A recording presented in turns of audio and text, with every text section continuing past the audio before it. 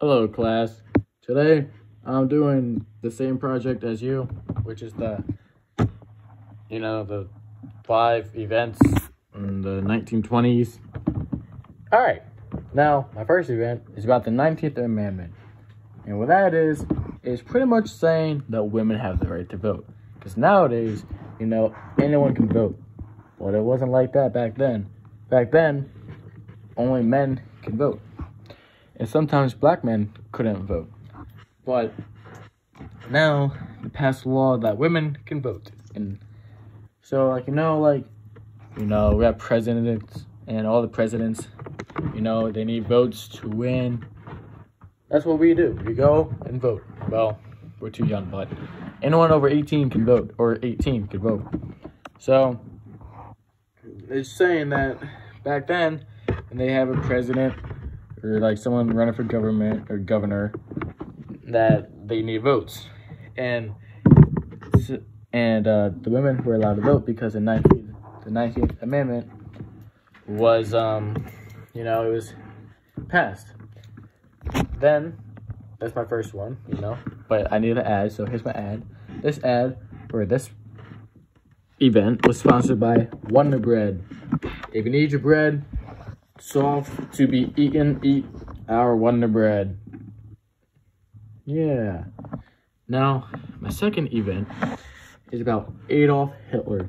Now, some of you guys know about him, some of you guys don't. And for those who don't, which in 10th grade, I think you guys should know, um, he, he, he was not a good guy. Not at all. Now, what's crazy about him is he was actually, he went to school for art or he's, he was actually like doing some art thing, you know, and somehow from being from being someone that like does art transfers to being the number one like leader, which I don't know how that you know how that works, but um, but I guess we can both we can all find out together. Now, Adolf Hitler was um discharged from the army in 1920 and turned his attention to politics which nowadays we have politics like Democrats and Republicans and all that, yada, yada, yada. But what Adolf did was he got discharged from the army because he wasn't a good guy. Now, when he got discharged, discharged from the army in 1920, like I said, he became the politics. He, he joined the politics, and he was the leader of a party. In the late in late July of 1921. Now, inflation started to hit Germany, and which means that Germany had some debt to owe. And what they had to owe was, you know, money, because we know when, like, you have some money that you need to pay up, you're in debt now. So, if you buy a car, and then you don't buy it fully, you put some money down, right? You can leave the lot, but you still have to pay. It's pretty much like, it's, it's like taxes, kind of. Now, Adolf Hitler was the leader in the army, and he was not a good leader because, like, he did stuff that was not okay or shouldn't have done. Now, he killed a lot of Jewish people back then, which, uh, which was pretty much like the Holocaust, kind of. And what Hitler did was very bad things to Jewish people because of the beliefs or something like that. So when he got discharged from the army, it was, he went to politics and all this stuff, and Germany got, you know, went into loans. Now, that's enough of that, because I'm kind of getting confused. But that that was sponsored by, uh, you know, tomato soup. If you're cold and sick, eat the tomato soup. It would heal you up. Now, my third event is about the 1926 massive massive hurricane that hit Miami.